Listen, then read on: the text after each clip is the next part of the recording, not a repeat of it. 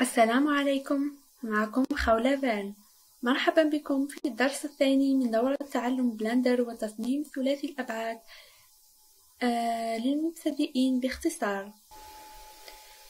في آه هذا الدرس سنتعلم النمذجة وسأشرح لكم كل ما يهمك معرفته كمبتدئ في مجال 3D في النمذجة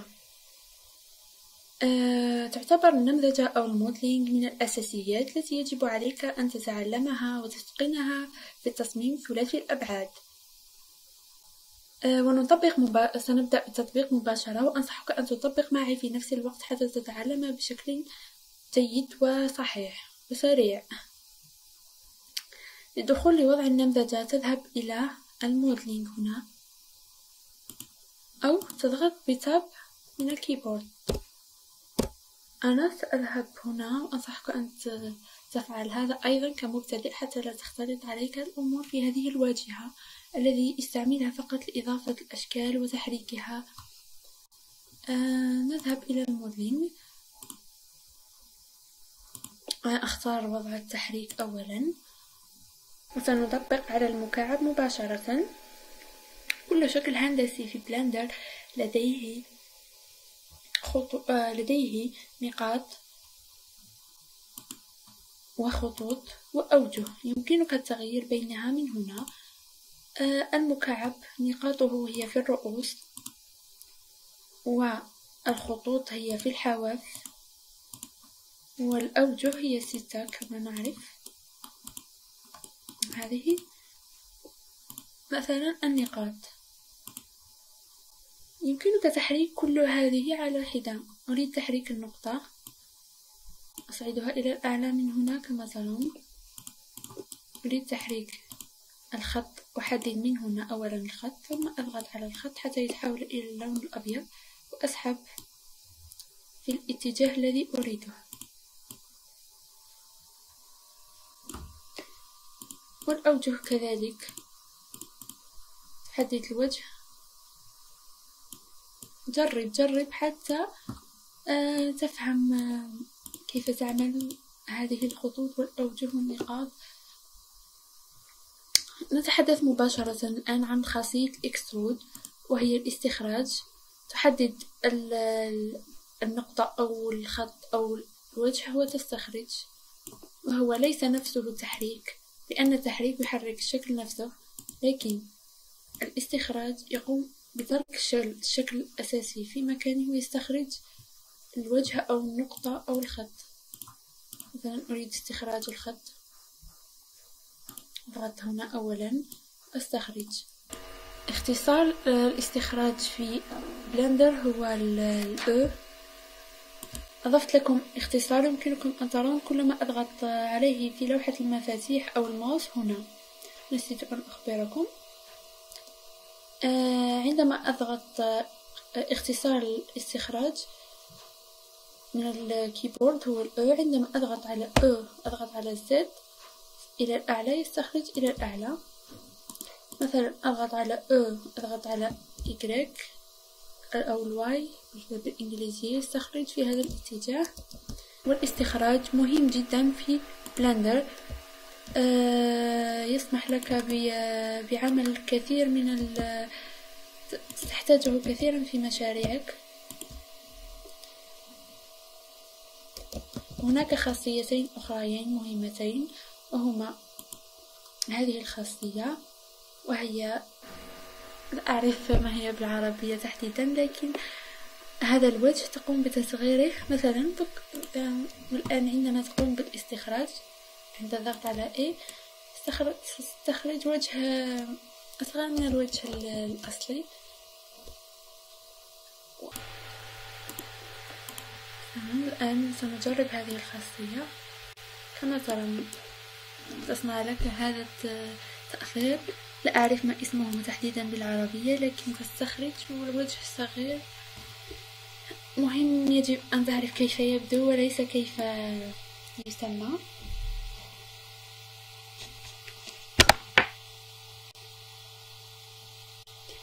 هذه ثلاث خصائص مهمة جدا وتوجد خاصية أخرى أيضا مهمة بقدرهما وهي لوبكات وهي تقسيم بالخطوط. أريد تقسيم هذا الشكل لعدة أوجه ونقاط وخطوط.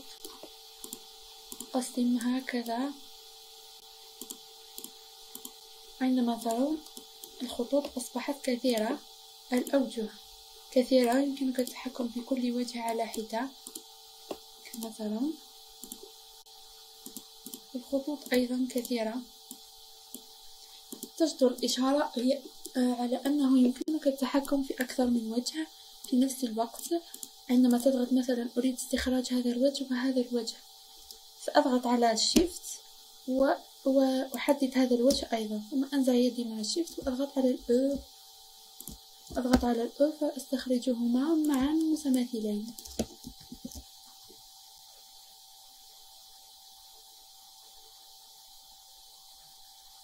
يمكنك التصرف كما شئت وأردت في هذا الفضاء. ويمكنك فقط الضغط على الجزء الذي تريد تغييره وتغييره بالشكل الذي تريد. أنت حر في الإبداع. يمكنك أيضا آه، حذف مثلا أريد حذف هذا الوجه أضغط على delete من ال keyboard. كما ترون الاختصارات موضحة هنا. أختار face الشكل أصبح نعود إلى الوضع العادي. الشكل أصبح محذوف من هنا. محذوف له وجه. أريد حذف عدة وجوه. أحددها فقط delete face يمكنك أيضا حذف نقاط وخطوط سنتحدث عنها ربما لاحقا. المهم هذا آه نسيت التحدث عن ملء. حذفت هذا الوجه. مثلا حذفت هذا الوجه وأريد ملء هذا الفراغ. سأحدد الخطوط أحدد هذا الخط. ثم أضغط على شيفت أحدد أحدد هذا الخط وهذا الخط وهذا الخط. كل حدود المكان الذي أريد ما أريد ملئه أضغط على F. ف يعود وجه آخر كما كان مثلا أريد ملء هذا الفراغ يعني من هنا إلى هنا. سأحدد فقط كما أخبرتكم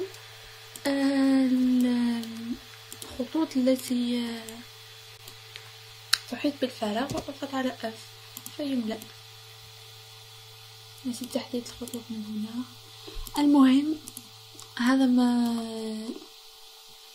هذه الأداة فيل. تملأ الفراغ. هذا ما ستحتاج معرفته في هذه النقطة.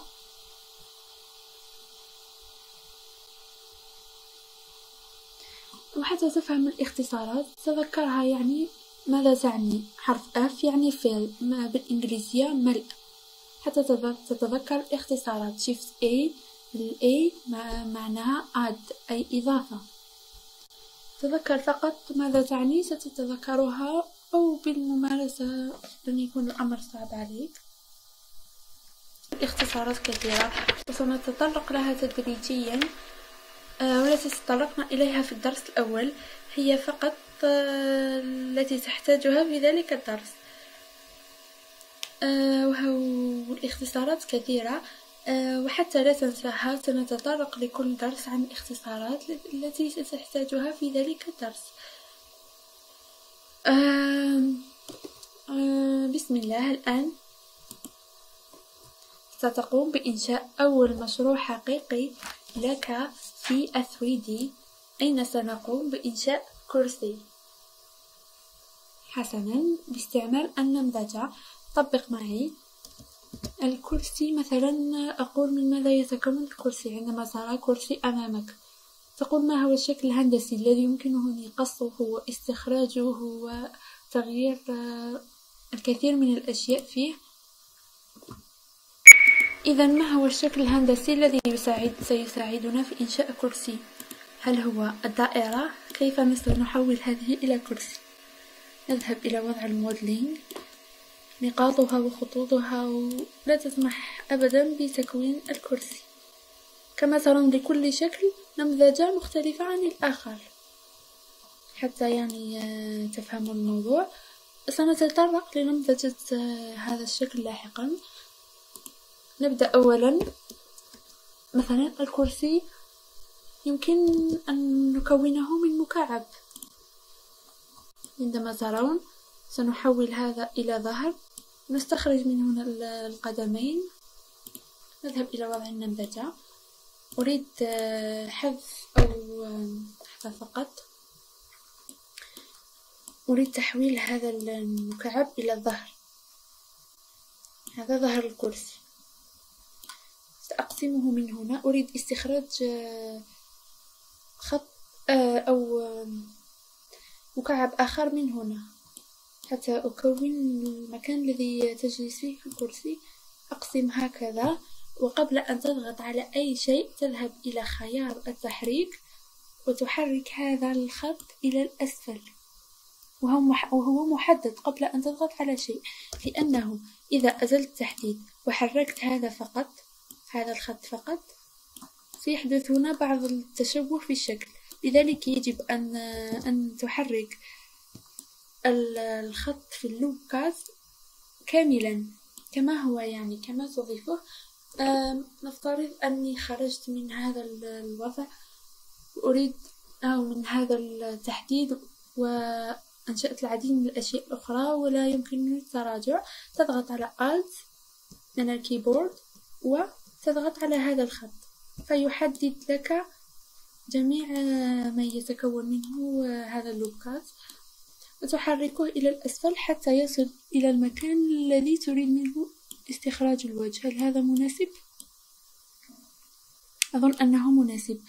أريد استخراج هذا الوجه. لا يمكنني استخراجه بوضع الخطوط. أستخرجه بوضع الأوجه. أضغط على أو من الكيبورد. أظن أنه كبير بعض الشيء. لا مشكلة سأقوم بتصغير هذا حسنا. أظن أنه جميل هكذا. أريد است... أظن أنه لا يأتي هنا طويل. قم بترجيعه قليلا. حسنا نعود إلى الوضع العادي. ليات سأقوم بإنشاء أرجل الكرسي. أضيف ربما مكعب آخر. أحركه أضغط أذهب إلى وضع النمذجة. أقوم بتعديله حتى يتحول أو أعدله هنا في ال layout أصغره S على ال X ثم أصغره S على ال Y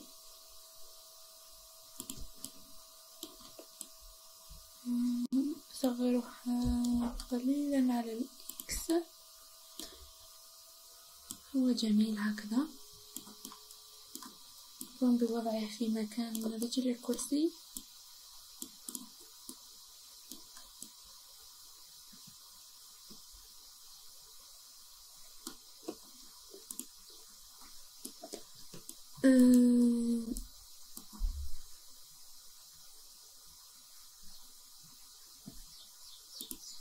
وستحتاج الآن إلى شيء اسمه mirror modifier حتى تجعل هذه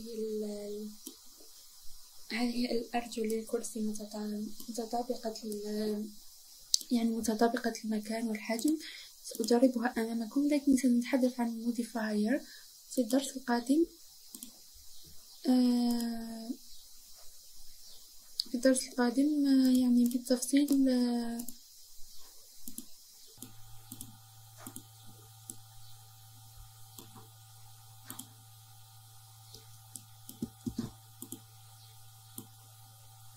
مسخت رجل الرجلين ووضعتهما في ظهر الكرسي. كما ترون هذا هو الكرسي أمامكم. يمكنكم صنعه آه بسهولة. سأقوم ببعض الأشياء. لم تتعلموها بعد. لهذا اكتفوا بما وضعته في سأريكم كيف يمكن أن يصبح بالموديفايرز؟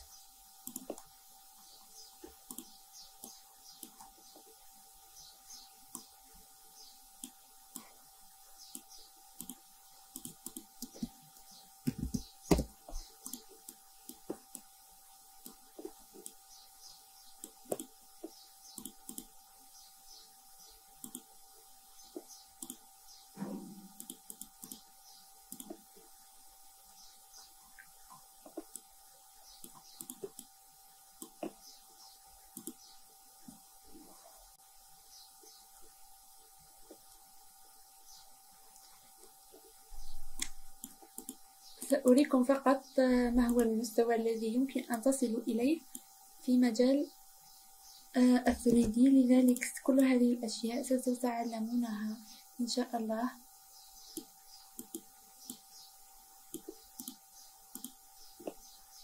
لذلك لا داعي لأن تفهموا من الموضوع أو كل هذه الأشياء ستتعلمونها. هكذا يمكنك إنشاء